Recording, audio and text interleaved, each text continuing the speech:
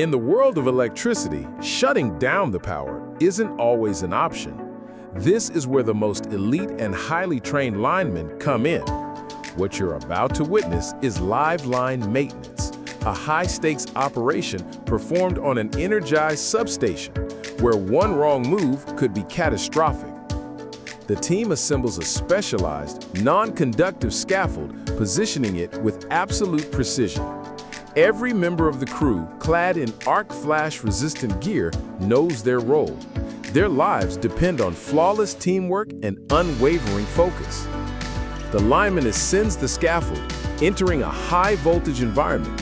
He carries a hot stick, a long, insulated pole that is the only thing allowing him to safely interact with the energized components from a distance. His first task is to disconnect the jumper cable. Using the hot stick, he carefully unclamps the live wire.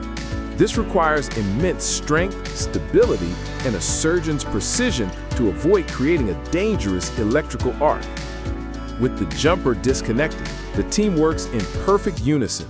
One lineman carefully controls the live wire with the hot stick, while the other prepares to make the necessary repairs or replacements on the now isolated piece of equipment.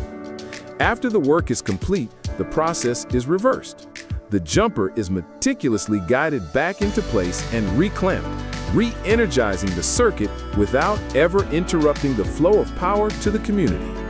This is a breathtaking display of skill, courage, and the incredible science of electrical engineering, performed by the unsung heroes who work in the most dangerous conditions to keep our world powered.